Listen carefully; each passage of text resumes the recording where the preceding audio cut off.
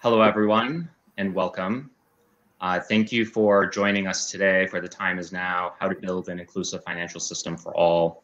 My name is Mac Wallace. I'm a fellow and policy advisor at the Aspen Institute uh, on inclusive financial systems. Our intended moderator today, Ida Rademacher, is unfortunately ill, uh, so I've joined to moderate today's session in her place.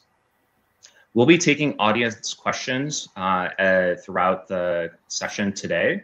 Um, so please use the chat and the comments feature and use this opportunity also to connect with others um, interested in the subject through the chat function.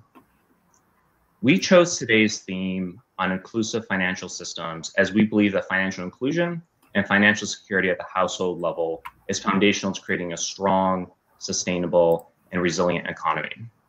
We know that an inclusive financial system represents a powerful economic tool. Research from the IMF shows that there is a two to three point uh, GDP difference in growth um, over the long term between financially inclusive countries and their less inclusive peers. And over the last decade, we've seen tremendous progress advancing inclusion. Governments and social sector actors have taken bold actions to elevate financial inclusion on the economic agenda. Uh, for example, through the GPFI at the G20, the Maya Declaration um, by the Alliance for Financial Inclusion, and the World Bank's Universal Access Initiative and the creation of the Global Findex database. And during this time, we've also seen an explosion in digital and mobile technology and the rise of over 20,000 fintechs globally. And today, the formal financial system now serves 69% of adults. With all of this momentum, the reason that we are here today is to recognize that there is still significant work to do. Real challenges remain, and indeed, new challenges have emerged as a result of the pandemic, reaching and serving a set of households, uh, a set of households and small businesses worldwide that are disproportionately led by women, people of color, and other historically vulnerable and excluded populations. And while reaching and including these populations is critical, simplistic measures of account access actually fail to capture whether that access is truly enhancing people's financial well being, their security, their health, and their dignity. So today's section, session is focused on what the next agenda needs to look like in order to advance inclusive financial systems that drive improved financial outcomes for all people and small businesses. And as the world moves from recovery uh, from the pandemic, reshaping our financial systems will play a critical role in ensuring the next decade looks different from anything that's come before. So we are joined today by three colleagues. Together over the last year and a half, we've done considerable work in defining the elements of an inclusive financial system. And I'd like to welcome um, Ash Amin, uh, Victor Malu, and Gabriela Zapata. Thank you all for joining for the conversation today. Happy to be here. Yeah, thank you. Pleasure. To be here. Wonderful. Uh, Victor, Ash, and Gabriela, to get started, um, describe what an inclusive financial system looks like to you. Who does it serve, how, and, and how does it compare to the financial system we have today? Well, I mean, if I may start, I mean, very briefly, I, I, think, well, an inclusive financial system is a system that's available to everyone and serves people according to their individual needs and desires um, in an equitable, reliable, um, secure, and transparent way.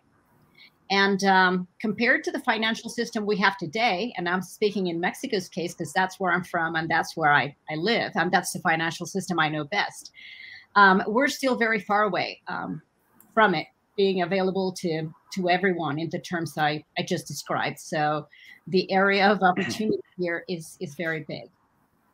So I'll leave it at that for now.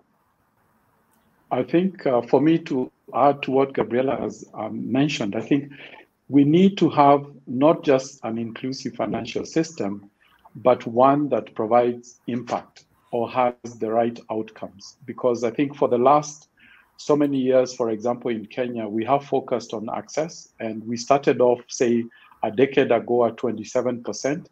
Today, we're, we're at 83%. So, in terms of access, we've had uh, tremendous uh, progress. But I believe there are issues to do with uh, how useful uh, this inclusion is and what are the outcomes? How, how has it led to improved uh, health, financial health for the users or for the people who have uh, uh, have had this access. So I'll stop there for now. Yeah, thanks, Victor. Um, Gabby. So yeah, I mean to state it, truism, right? Finance is a means to an end. People leave lead all kinds of complex financial lives, interact with products, service providers, regulations with each other in this financial system, right? But as um, Victor and Gabby have noted, the system is not necessarily designed to be inclusive or cater to disadvantaged populations. And as many of you know, you know the focus so far has been on inclusion and therefore access but perhaps again not on the outcomes or what we actually get out of it. So a lot of my comments will be, you know, wearing the hat of BFA Global, which is the company I'm with, consulting firm, um, where we do all manners of things related to improving financial services in emerging markets. Um, it's been a pleasure engaging with the Aspen Institute, um, with MAC and with IDA and the working group of global practitioners to define what it means, right, to, to have an inclusive financial system where success is then defined by the ability to improve financial outcomes of people, right, and long-term financial well-being. Um, because we're at a pretty interesting juncture. Uh, wealth inequality is pervasive. COVID still has a bit of a grip, a rather large grip on us. There are the challenges of climate change that are looming large. Um, and all of this makes it more important than ever before, right, to ensure that economic growth is inclusive and that it lessens inequalities that currently exist in the system. So I think as we uh, go through the conversation through the rest of the session, you know, uh, one of the things I'd love us to keep in mind is that there are two goals, if you like, that we're perhaps trying to achieve with this framework itself, right? One of them is mechanically, it makes sure that the challenges we face, because they are so many, they all become tractable under this framework.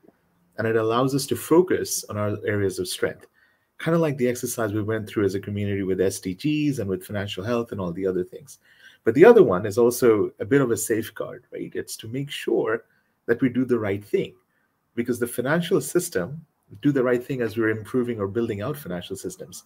Because these systems have a profound impact and they have a magnifying effect right on both economic growth and inequality. And the role and power of financial systems in facilitating inclusive growth and lessening inequality it really needs a deliberate sharp focus. So a large part of coming up with this principle and the work of the working group was also that. So we hope that the four principles kind of allow us to reach alignment, but we'd love to hear from the audience as well as we go through the session on what you think. You know, how much have we covered well and what, what is missing? What are the things we can extrapolate this to? That's great. And and uh, I'll take a moment just to introduce and speak to the paper's four principles, and then ask uh, each of our speakers which of which of the principles they they connect with the most, and um, and maybe giving an example of their own work. Uh, but uh, the paper's four principles of what an inclusive financial system represents include prioritizing the historically excluded and underserved populations. Uh, number two is measuring success by outcomes. Number three is establishing and enforcing strong regulatory regimes. And fourth is around promoting growth and integrity. Um, opening it back up, Gabriella, Ash, Victor, we spent a lot of time speaking to these principles um, which of these do you personally connect with the most in, in your own work? Uh, if I can, sorry, go ahead, Gabriella. No, no, go ahead, Victor. Okay, so so for me, I think measuring success uh, through outcomes. I think we've spent a lot of time in building infrastructure, which was necessary. Uh, and for me, infrastructure is like building a highway or a railroad, and opening up communities or, or, or villages and towns to form a financial uh, uh, uh, uh, system. But the challenge is how do they leverage it and, and how has it altered their lives? If, for example, they only have access to their financial uh, solution once a week or once a month, you really have to wonder what impact it's having on their lives. But if we could measure this through the ability to manage their day to day uh, uh, you know, work, for example, how they access food, how they make ends meet, how they budget, how they cope with health, uh, purchase of medication and, and emergencies, uh, whether they can access a lump sum amount within a short period of time, whether they are able to save and invest in their future. Uh, these are, I think, the outcomes we should be looking at, and how does the formal financial system leverage or support them in achieving those outcomes. Uh, so for me, I think what really excites me is moving away from uh, uh, access. Uh, maybe we should have a term like beyond access, what do we what are we going to achieve after access? And for me it's uh, success how we measure success through uh, the outcomes that are, individuals and small businesses are able to get out of this uh, form of financial system. I'll stop there. Thank you. Well i'd like to i'd like to say that i mean in, in relation to what victor was saying um, I think we have also focused very much on the first uh, principle of prioritizing his historically excluded um, populations. But I think that here, um, the access agenda is still important if we're talking about these um, historically excluded groups or last mile populations, because so many people still lack basic access to the formal financial system, you know, but it, it does have limitations. And um, as Victor was saying in Kenya, 83% of the people are not financially included, whereas in Mexico, not even 50% of the people have an account. So we still have a long way to go as regards that just plain access agenda. But I think it's important for us to ask um, access to what, you know, and and maybe more importantly, for what purpose? Because um, in certain contexts, like maybe um, basic access through an account, either through mobile money or, as in the case of Kenya, or through a financial institution, as might be the case of Mexico and many other Latin American countries.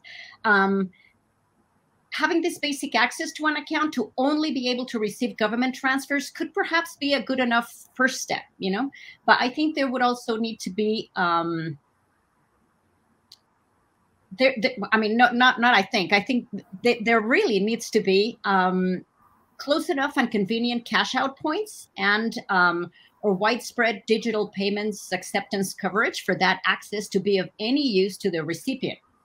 And uh, well, we also need to recognize that there's a lot of limitations to uh, providing relevant, safe, and affordable uh, financial products and services in um, in a sustained manner to last mile populations because of challenges in making the business case work for these populations in many countries. So access infrastructure and products go hand in hand and there needs to be a, a, business case to sustain this. And that you know and then talking about outcomes and and real good impacts that needs to be part of the conversation. But i think that you know there's there's still space for the access agenda in in in many countries Sure. And um, maybe just to add to that, I mean, essentially, I think to answer your question, oh, clearly relate to all four. It's it's sort of one of those exercises where we ask, how do we want to skin the cat, sort of, and which parts become more important than others, and they're all important, yeah. and they kind of all show up in different parts. Um, of different markets, depending on where things are relatively or greater strength or weakness and things like that. Perhaps just by the nature of our work, the kind of professional advisory services we provide, um, we tend to focus a little bit more on the first two, perhaps, right? So there's the prioritizing of historically excluded and underserved populations, and some ways of doing that are making being very intentional around inclusive design, right?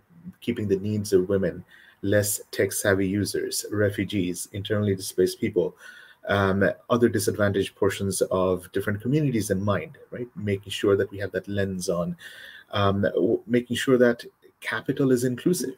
So a lot of our venture building work um, certainly comes with this inclusive lens, making sure that um, the capital that is being provided is aware that of the challenges that are going into providing the products and services, and therefore that it's not going to be like um, investing in perhaps an advanced economy.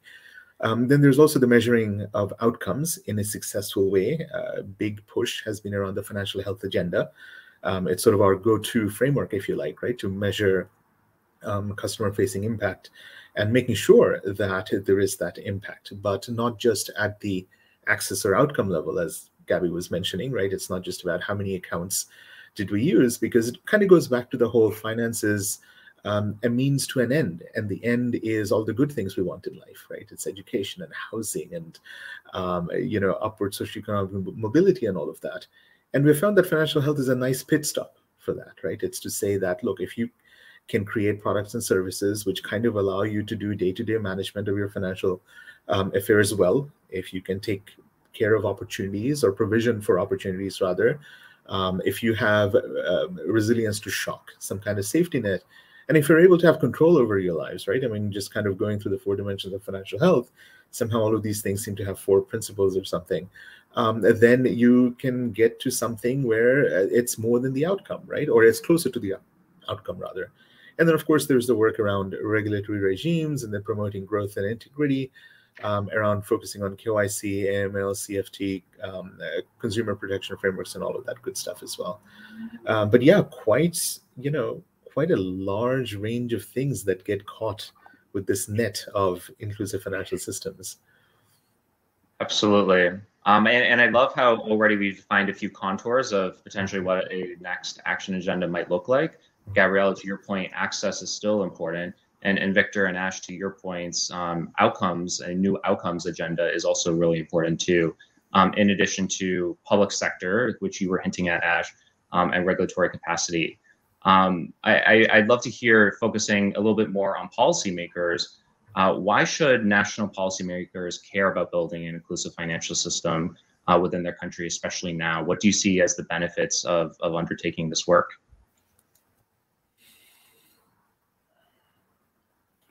So if maybe I could go first on this one as well. I think for for me, it's important for policymakers and government to develop uh, or come up with interventions because marginally or historically excluded communities, I think, will not be accessed through commercial, you know, or commercially uh, oriented uh, um, uh, uh programs.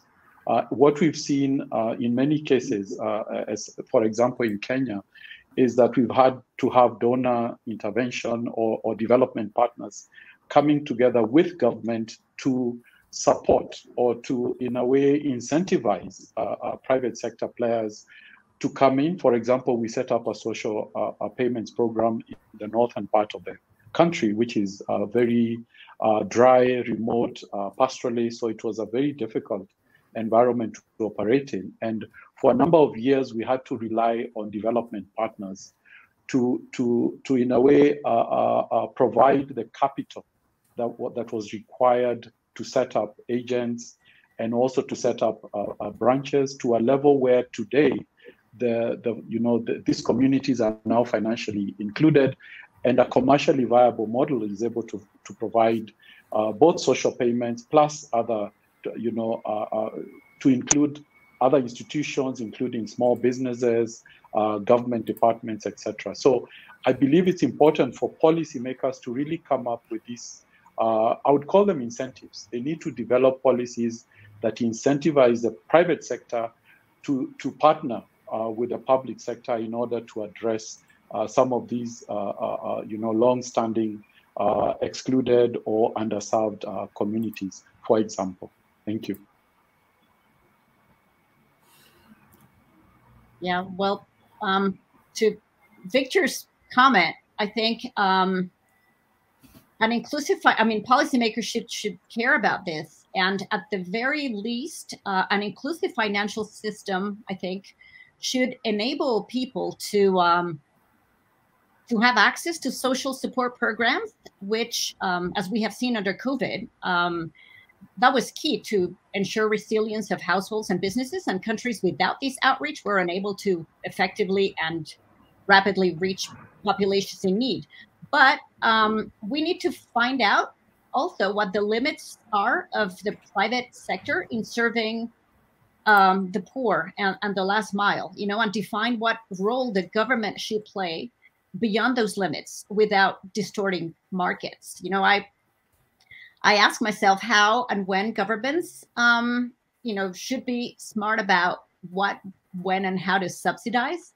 And um, I think this continues to be a big area of opportunity. Um, so best practices are welcome from from the public, um, because there definitely needs to be a partnership. But but how does that partnership work? And there are spaces where the private sector is just not going to get there. And um, recently, I, I learned I, I, read an interesting blog uh, about the limits of the private sector in serving the last mile in Africa. I don't know if uh, if you've read it, but you know I, I recommend it, and um, and maybe the link can be posted in the in the chat, and I think uh, similar research should be undertaken in other markets to guide policymakers to know where they're able to make uh, the most difference in this space. Yeah, totally right. I mean, there's a bit of a carrot and stick thing going on here, but generally speaking, I mean, policymakers probably need to get involved because we're taking a systems approach, because it is involving so many moving parts, right? And there are stakeholders and interest groups that need to be brought to the table, and there are barriers that need to be surmounted. And none of these things could be done, perhaps, at least at things are now, if we left it to the market forces. Now, ideally, you know, any solution that we derive, any products that are offered, and all of that are market driven. But to get us to that point, um, it may perhaps, you know, whether we want to call it the benevolent hand of policymakers or something, um, there is that role that policymakers need to play, right? And and that's sort of the lowest common denominator, if you like. But then, you know, there is all the abundance of evidence in terms of why they would want to do that, um, in terms of um, a carrot, perhaps, right? So uh, there's this McKinsey study, for example, which says that if all emerging markets we're going to adopt DFS, digital financial services, then the total GDP would grow, or the addition to GDP would grow at $3.7 trillion, a huge amount compared to where we are now. Um, there are also all these papers, for example, by Jack and Suri from Kenya, where they've calculated that the spread of mobile money has lifted about a million people out of poverty, equaling about 2% of the population, right? Um, there's all of this research from the U.S. Federal Bank, uh, I think the Atlanta one, the Fed, Atlanta Fed, as well as the IMF, um, which shows that excess inequality can slow growth. And then also, interestingly, with the current COVID situation, I think we've seen that governments in more than 200 countries have relied on the existing financial system to distribute relief. Now, these systems already need to be there before you can get to the relief. If COVID happens and then you try and set up the system, that's not very helpful right? And then I suppose a final sort of um, you know or else kind of thing is that there's also a national security issue, right? Pervasive inequality or a lack of gainful employment opportunities can lead to social unrest, right? And it can lead or it can cascade into an IDP situation or a refugee crisis, right? So there are like this wealth of reasons why I think you know policymakers really need to start being deliberate about fostering more inclusive financial systems. And when I reflect on our work together, I think one of the key uh, takeaways that, that we all had was this intersection with the social safety net um, and how inclusive financial systems don't operate in isolation, but are so interconnected with, um, uh, Victor, you brought up infrastructure around uh, uh, mobile and digital connectivity, for example. Gabriela, you brought up the social safety net in, in Mexico know that's so integral to to everything going on there as well. Yeah, and, and maybe just to, to add to my comment about infrastructure and uh, safety nets, I think what I, I did not mention is part of the program. What we were trying to demonstrate was also the shift from uh, food relief to digital cash transfers. And looking at it from a market systems approach, we felt that taking food to these communities was not, uh, you know, uh, stimulating the economy. In fact, what it was doing was dampening the economy by giving people. This was in times of, you know, drought or floods. So the the idea was, why don't we replace this free, if you want to call it, food and uh, with cash, and then the individuals themselves can go out and buy for themselves the food relief, uh, you know, purchase medicines, etc., which was actually stimulating uh, the economy as opposed to suppressing it. And I think that's another area where policymakers can come and really drive a shift away from, uh, you know, things like physical, you know, food relief to to digital transfers that actually support and grow uh, uh, the economy as opposed to to to dampening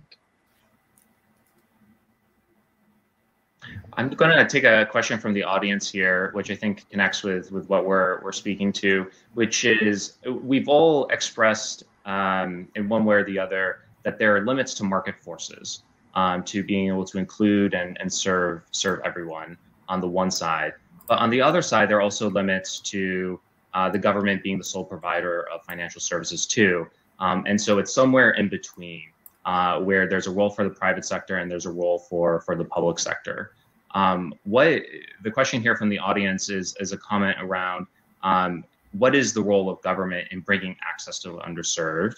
Um, and what are different models that you're seeing or um, either private sector models or public sector models or hybrid ones that you're seeing in your respective countries or contexts um, that you could share with audiences here that are joining us from around the world? Victor, I know in Kenya you were mentioning yeah. around um, infrastructure for, for digital connectivity is an interesting yes. one. Yes, so uh, so in Kenya, for example, uh, again, we have some parts of the countries where we experience very poor network coverage uh, because of uh, various um, uh, challenges, some of them leading because of infrastructure like roads, electricity, etc., and distances as well, and the density of population. And what the government has done is they've created a fund, which is mainly it's the telcos that contribute to this fund. And that fund is used to set up towers in these locations. So a telco can access uh, those funds to build a tower on condition that they share uh, that tower with the other uh, providers. And as I said, the initial cost to me is usually the big challenge. So if you can take away the capex, you might be able, you, you will be able to manage the operating costs. So for me, these are some of the ways where public-private partnership can come in and and really work together. I mentioned before we were running a social protection uh, uh, program, a food subsidy, where we're using cash. And what we did is initially it was 100% uh, donor funded, but at the end of that, uh, two years ago, we trans- transitioned this program, you know, 100% to to government, and now uh, they're supporting over 100,000, actually 350,000 households in, in, in, in the whole of uh, northern Kenya. So I believe it's possible, you know, to work together. And let me add that this was also public-private because the transfers are de- delivered through a bank account. So we were also looking at it from an inclusion angle that you've got these communities included, but they also have uh, social support, not just a safety net, but also an emergency fund. So in case there is drought, they receive, uh, you know, additional funding or if there are floods or any other uh, natural, uh, uh, you know, uh, calamities. So, so I, again, I think it's really important to have this uh, working partnership uh, where the government provides policy, regulation, and incentives for for the private sector to come in and and participate. Thank you. Yeah, it's um, quite a long list, right? If we start listing what the governments can do, but it, it is because at the end of the day, um, responsibility for a well-functioning system, right? Kind of making sure that systems are competitive, safe, fair, inclusive, that they, you know, foster growth, trust, have responsible products. It kind of does fall at the end of the day with the government, right? To make sure that all of those things are there for the people of the land. Um, so some of the things, uh, I think we've covered a lot of it. Victor, uh, some of them as well, in terms of like regulating for inclusion, right, and enforcing codes and standards. You can have standards, but one has to make sure that they are enforced. Um, protecting consumers as well and enforcing that kind of protection through things like GDPR, um, either investing directly or incentivizing private sector capital, right? So Indonesia and India, for example, have um, direct lending requirements for priority sectors to make sure that money goes to the sectors that promote inclusive growth.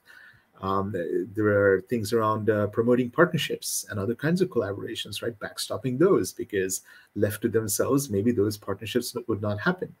Building critical infrastructure, right? Building switches um, and things like that. Or in Latin America, the credit card network, right? Different distribution systems work in different parts of the world um, maybe even going in and providing the necessary services. Um, if private sector is not willing to go and do it, then the government kind of does what it needs to to the extent that it does, and then gets out of the way.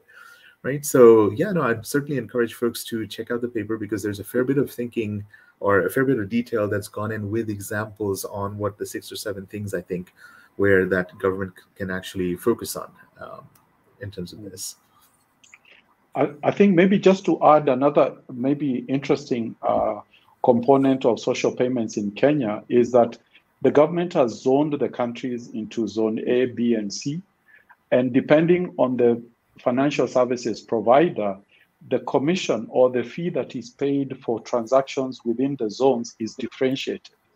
So to me, this is incentivizing the private sector to participate in the more remote locations. So if you're paying social payments in the capital, say Nairobi, you'll earn maybe a dollar per transaction. But if you're in zone C, which is, uh, you know, the remote uh, locations are bordering, say, Ethiopia, Sudan, or Somalia, then you earn a dollar fifty. So there are ways which uh, the government can also, using financial uh, incentives, because we literally looked at the cost of delivering uh, uh, these transactions in different zones and arrived at, you know, the average cost. And you know, based on that, there were some uh, recommendations that were made. But then through a competitive process, uh, various financial service providers were contracted to deliver these uh, uh, payments. But again, I'm just saying it's it's the way the model was done was structured in a way that would incentivize the private sector to participate because they, we, we felt that if the price was the same, you know, like in most countries, ATM transactions or, or mobile money transactions are the same wherever you are. But we felt if we did that, then they would only be in the urban and the peri-urban locations and would avoid uh, going to the rural uh, or more remote locations. But by creating a tariff that had a price differentiation, we were able to actually have you know institutions rushing to the more remote locations to try and acquire beneficiaries so that they could uh, service them and earn uh, the you know slightly higher uh, commission. So again, I think it's it's really how you model it, how you implement it, and I think policy plays a part, uh, a huge part in this.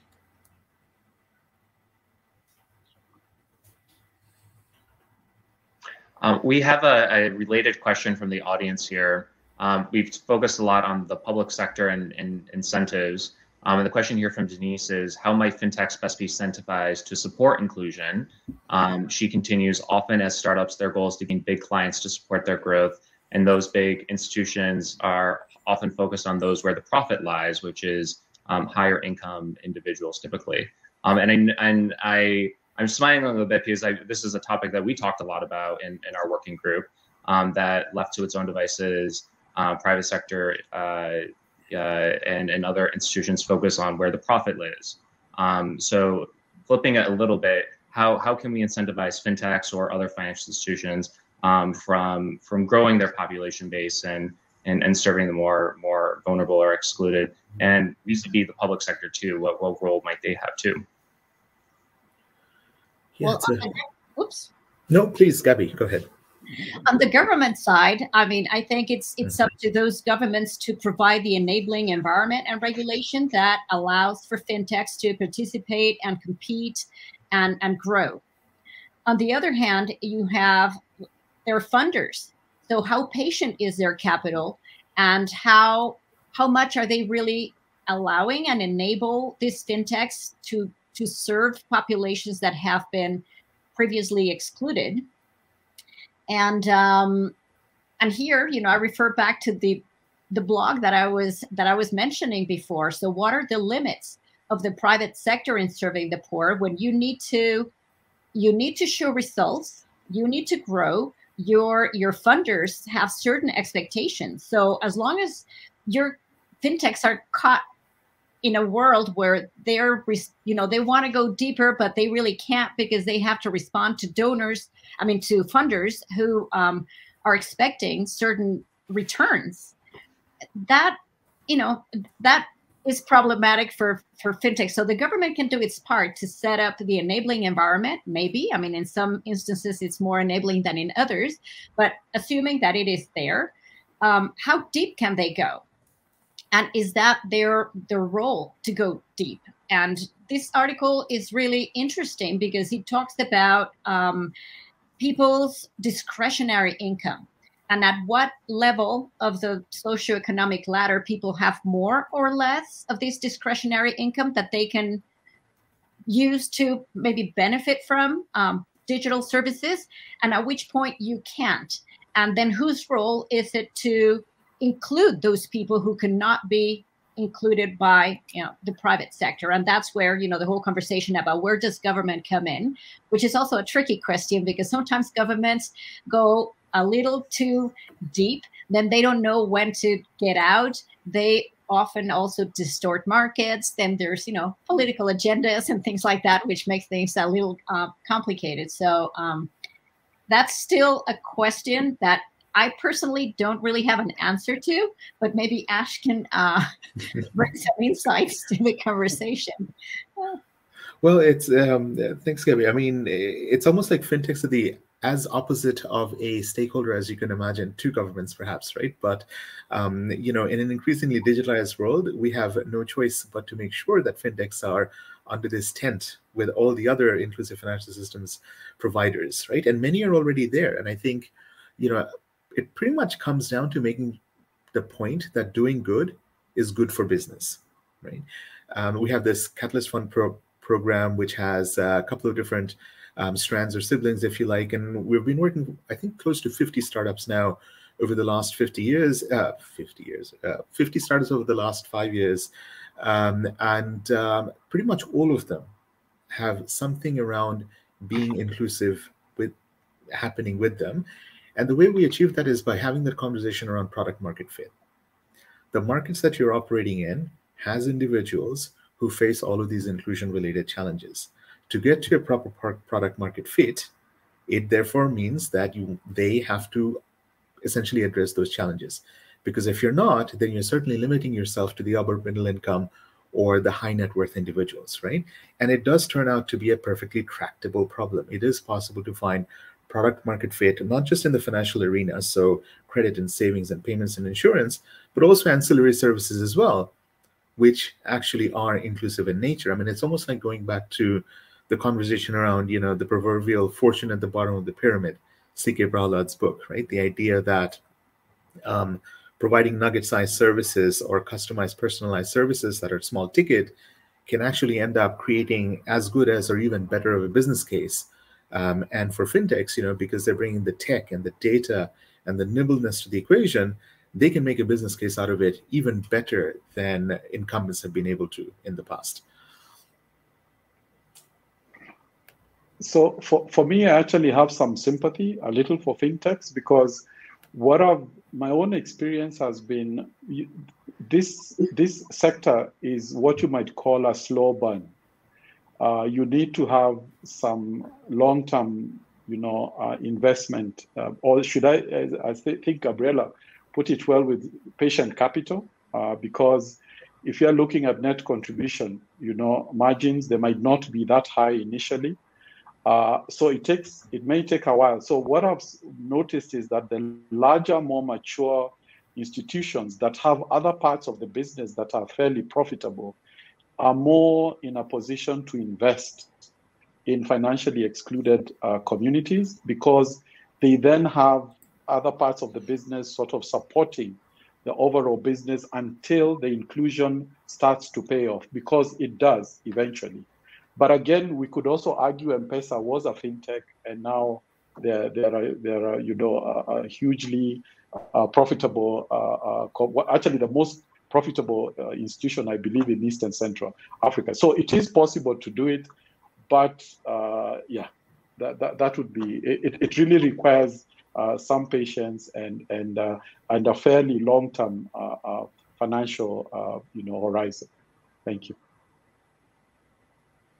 Absolutely. Um, you all have shared some examples already from, from your countries and your own personal work. Um, I would love to give you all a additional opportunity to share uh, what actions you are already taking or intend to take, either as part of your personal work or the organizations you work with, uh, to build a more inclusive financial system. Um, and I'll just share and, and, kick us off here at Aspen. Um, most recently, we we've been working and focused on um, joining the 50 plus other countries around the world that have a national financial inclusion strategy and commission. Um, with most recently U.S. Senator Chris Coons um, joining in the chorus of establishing one here in the United States. Um, and a lot of data shows that there is a connection between commission and coordinated action in the federal level um, with more inclusive outcomes for people. Um, so here at Aspen, that's something we've learned from our international colleagues and have been translating here back into the United States. Others?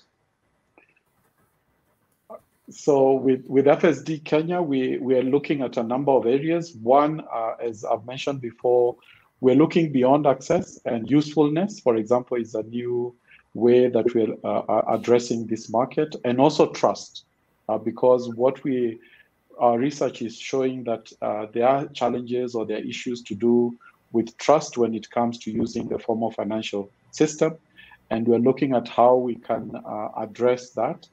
As I mentioned earlier, also looking through outcomes, the issue of uh, financial health, and how does inclusion support someone's ability to manage their day-to-day liquidity requirements how do they manage their risk and how do they invest for the future or for the education of their children etc so really looking at it from an outcome point of view uh, we're also looking at uh, post-covid uh, you know building back better how do we support uh, the, the individuals as well as SME and uh, uh, MSMEs to to rebuild their businesses.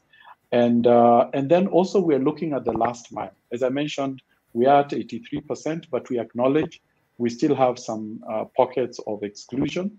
And we are doing research to really understand clearly why these uh, as, uh, communities remain excluded, and we want to find solutions that can be able to to reach uh, these marginalized communities.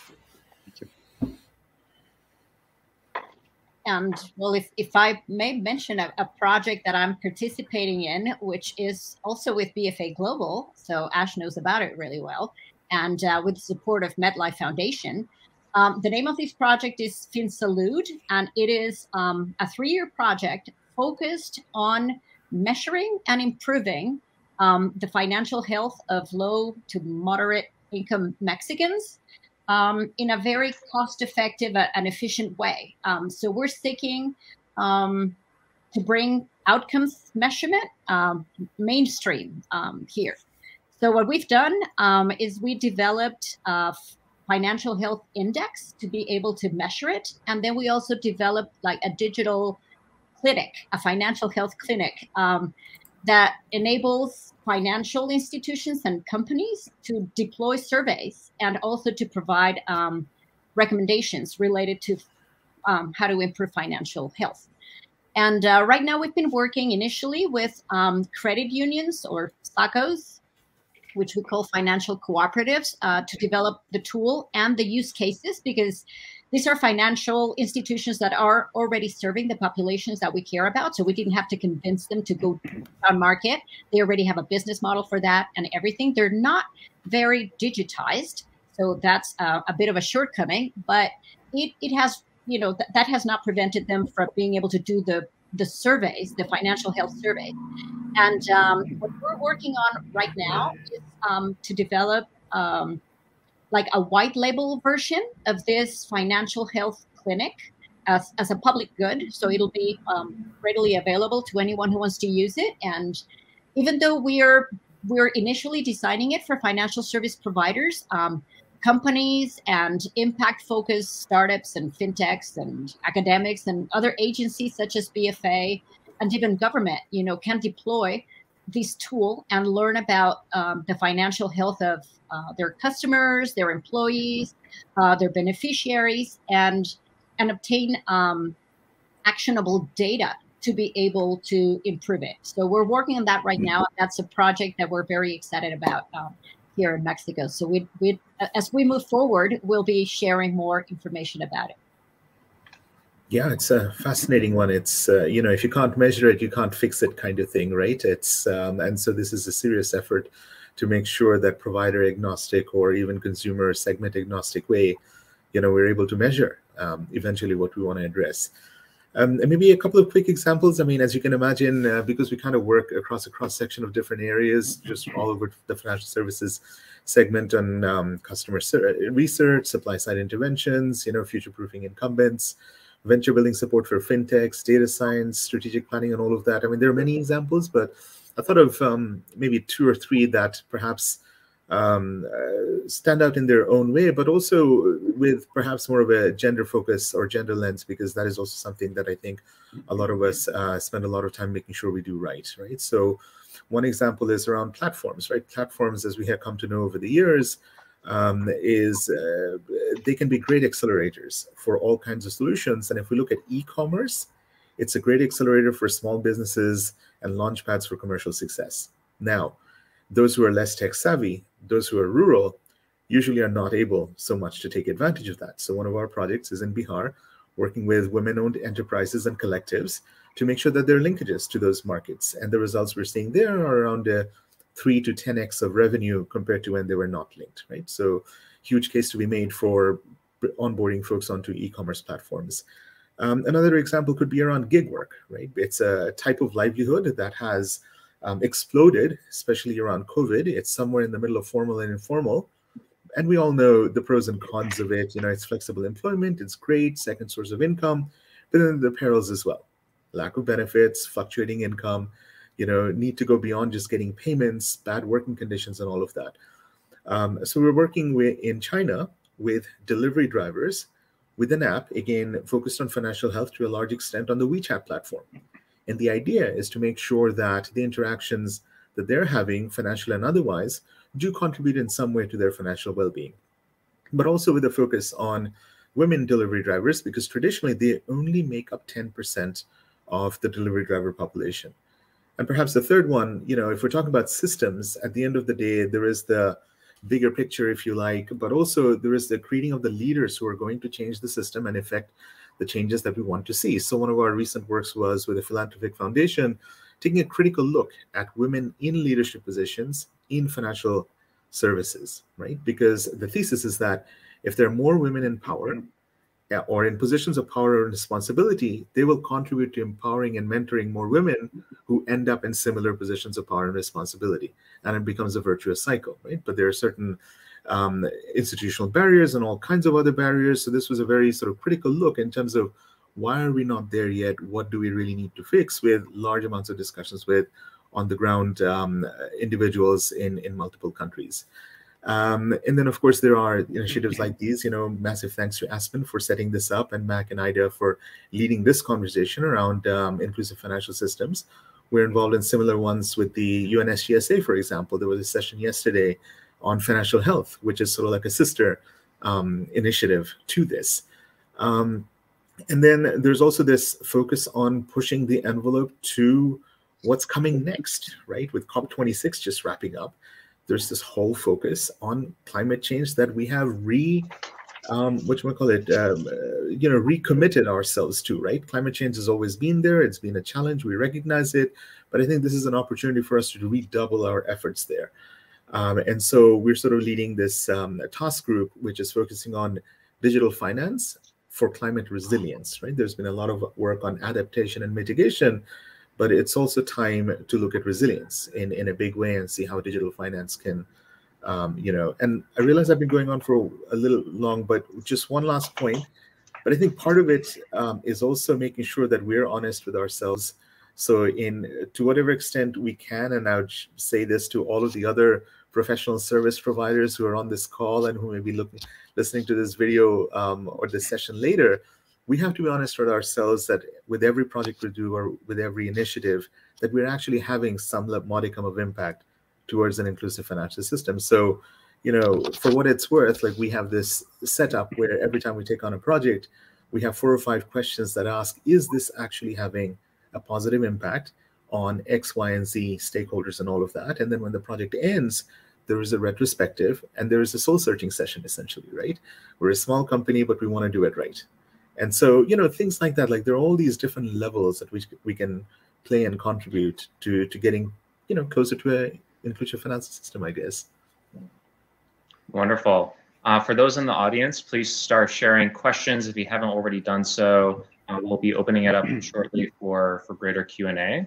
Um, perhaps as, as we look forward here um, and, and you think about uh, what actions others can take today um, to also advance the principles of an inclusive financial system, what's your call to action to those listening in today?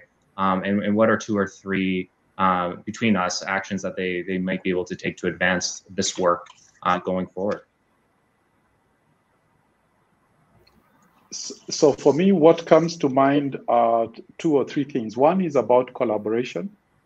Um, I believe this is a, a, challenge that cannot be solved by any, you know, one or two individuals or even one or two institutions. And from what I've seen is when you bring various uh, stakeholders together, uh, it works well if there is a cooperation and collaboration and people are, you know, are ready to roll up their sleeves and really uh, tackle the challenges that come with building inclusive uh, financial systems. The second thing I would want to mention is I would call them the soft issues like trust. I think it's it's it's it's interesting when you go to a, a focus group and you ask them what are the issues that you're facing with the formal financial system? And you expect them to say oh it's the distance to to my service provider or it's my app on my phone. But they tell you trust. We have issues uh, around trusting this system and we prefer cash because cash is final and there are no issues about reversals or fraud etc unless it's counterfeit so I think there is an issue around how we continue to build trust in formal financial systems to a level where um, uh, individuals who may not be that literate or educated as well are able to rely on it with a high level of, of confidence. Um, the final thing I'd want to mention is around again usefulness. I think we we under we, we understate uh, you know, I, I, think the M-Pesa story has been told over and over again. But I think for me, the first use case that they had, which was send money home, and we had many Kenyans who live in the urban areas who needed to send money to their families up country. It was an easy sell. It, it wasn't something that you needed to. I don't think they even advertised. I think by word of mouth, people said, "Oh, there's this new, you know, way of sending money up country," and that's and it just picked up like wildfire. So I think if we can solve the problems of the excluded communities, we won't have to drive inclusion. It will happen because they will be the ones demanding it. But if we sit, you know, in, in boardrooms and develop solutions and better and better widgets and saying, now this is the widget that is going to solve the problem, I think we will not uh, achieve what we are setting out to do. Finally, finally, I think we need to look at issues to do with consumer protection and financial capability because these are some of the areas I think that will impact or that will improve inclusion because I think the systems are advancing at a fairly rapid rate, especially in Africa. But maybe issues to do with consumer protection have not advanced at the same uh, pace. So there's a need to, to, to have this also catch up uh, with the solutions that are being placed in front of uh, uh, consumers. Uh, so consumer protection and financial capability are other arms that I think we may have sort of left behind and we need to uh, go back and pick this up and make sure they're advancing uh, at the same pace as innovation and, and financial solutions and inclusion. Thank you. Um, I guess my my my personal call to action would be um, at two levels and more focused on on institutions. Let's say, um, on the one hand, at the ground level, um, I would like to encourage financial service providers like banks and credit unions and MFIs and fintechs um, to give themselves the chance to learn how measuring and improving um, the financial well-being of their customers um, can work to their advantage um, in relation to um, customer retention and improved customer lifetime value, um, as well as you know their corporate social responsibility agendas. And I would also like to um, encourage companies, particularly well maybe mid-sized and larger ones, to do the same with their employees. Um, I think the Financial Health Network in the US has done a lot of work um, in this regard. And there does seem to be a business case for financial health. Um, also, I think the Commonwealth Bank of Australia has actually published um, about this. So that would be one call to action um, at, a, at a local level. And at a higher level for like global players like the World Bank or the Alliance for Financial Inclusion and even Aspen, um, I would like to see a push like there was for financial inclusion with uh, the Maya Declaration back in the day, about a dec- over a decade ago, um, to to develop and apply a sort of um, index that measures how inclusive a financial system is, um, starting with, with a baseline. Um, and perhaps this can be guided by Aspen's report. Um, I would, you know, I, I would, this would hopefully uh, prompt like action uh, to identify gaps in financial systems inclusivity levels at a, at a country and a global level and, and to define and to help define um, specific agendas for for the next decade. So i'd leave it at that. Thanks gabby.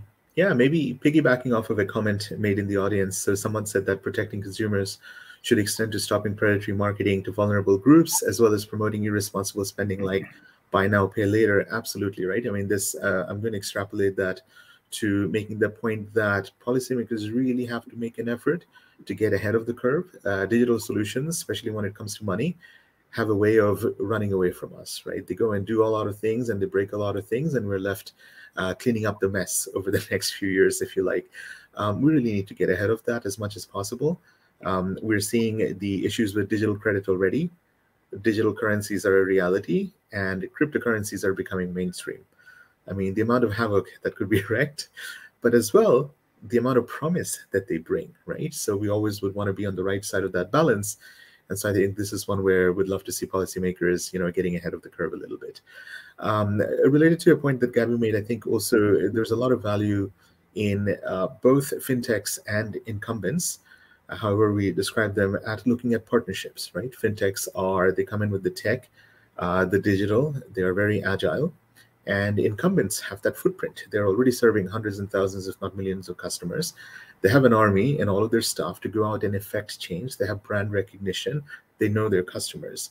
And uh, the sum of the parts there you know should really contribute to something um, impressive. And we perhaps don't see as many partnerships as we would like to see. And it's somewhere where we feel like we have a lot of value in terms of playing that matchmaker um, instead of folks trying to do it alone.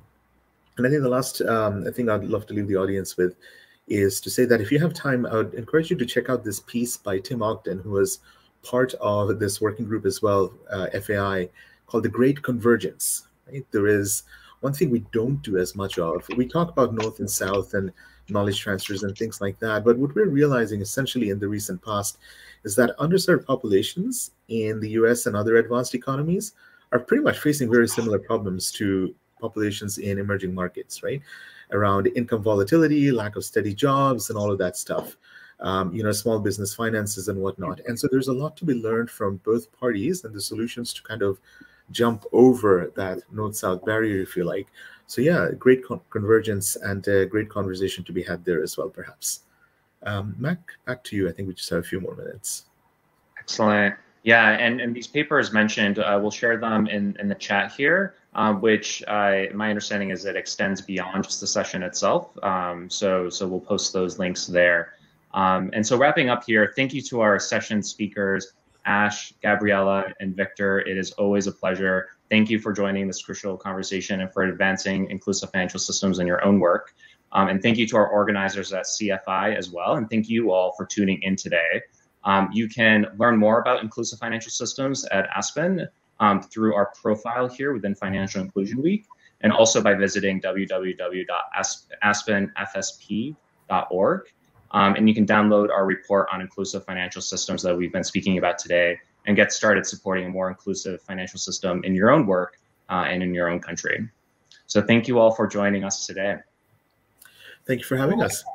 Thank, Thank you. you. Thank you. Thank you.